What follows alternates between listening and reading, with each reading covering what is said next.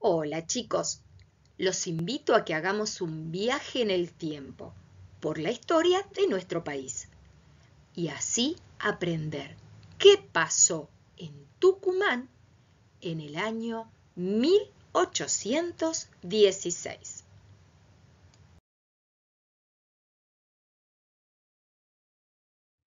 En mayo de 1815 se convocó a un Congreso General para definir la situación del país y redactar la Constitución Nacional.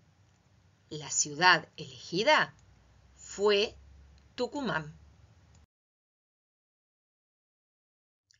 En 1816 se realizó un censo en Buenos Aires para la elección de los diputados.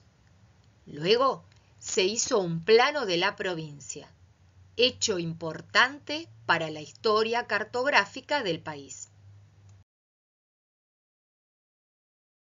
Las provincias que asistirían debían designar un diputado por cada 1.300 habitantes. Durarían en sus cargos un año para ser renovados por nuevas elecciones. Llegar a Tucumán era un gran esfuerzo. Los medios de transporte de entonces eran el caballo, la mula y la galera. La velocidad máxima no superaba los 20 kilómetros por hora.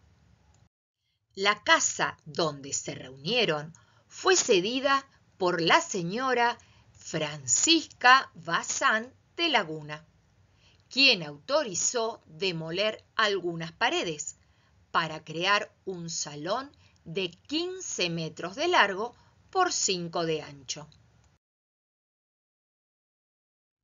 El 24 de marzo de 1816 se realizó la primera sesión. El 9 de julio los diputados reunidos en el Gran Salón proclamaron su deseo de ser una nación libre e independiente de los reyes de España. Por último, se procedió a elaborar el acta por medio de la cual se dejaba asentada la Declaración de la Independencia.